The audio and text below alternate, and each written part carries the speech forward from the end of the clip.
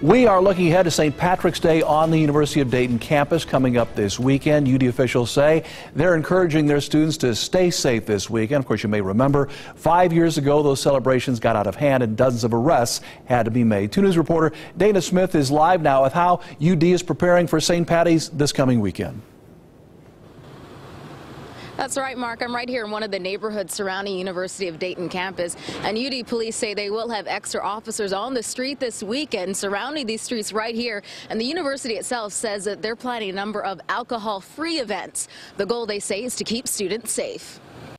It's not long until St. Patrick's Day, and UD police say they're ready for this weekend's festivities and the crowd it'll bring. Chief Rodney Chapman said additional officers will work alongside local law enforcement to monitor the campus and the surrounding neighborhood we go back to seven years what occurred, and what I focus in on is the six years since, where our students have demonstrated the, the character that we know that they have, and that they know how to learn and live in community with one another and look after one another. Back in 2013, a riot broke out, but Chapman pointed out the students involved in that have already graduated, and things have changed.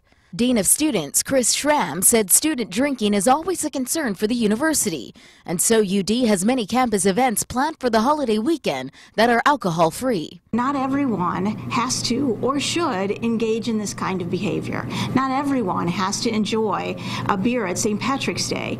But what we have here is different opportunities people to go to a baseball game, people to be able to go see a play, um, people to be able to enjoy each other with a trivia night. UD student Jamie Veason said she'll be reminding other students that the rules don't change on St. Patrick's Day.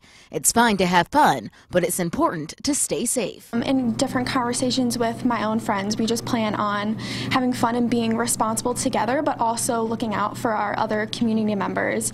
I do live in the neighborhood, and so, you know, one of the things that we really focus on is how can we not only make sure that we're safe this weekend, but also looking out for our fellow flyers.